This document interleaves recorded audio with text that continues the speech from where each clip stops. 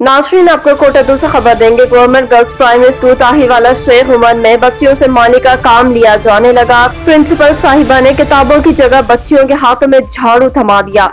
School principal ने बच्चियों को स्कूल में झाड़ू देना, पौधों की सफ़ाई पर लगा दिया। स्कूल में बच्चियों से माली के काम की फुटेज तहलका न्यूज़ से हासिल कर ली। रोज़ाना बच्चियों से ग्रासी ग्राउंड की सफ़ाई, पौधों को पानी देना, उनकी कांड छांट और पौधे और पूरे स्कूल में झाड़ू दिलवाना मामूल बन गया। वालदेन की जान से सफ़ाई से मना करने पर प्रिंसिपल ने बच्चों को स्कूल से निकालने की धमकियाँ दे दी। दूसरी जमात की बच्चों का तलीम के नाम पर मज़ाक बना दिया। चौकीदार और माली की तनख्वाहें हड़प की जाने लगी।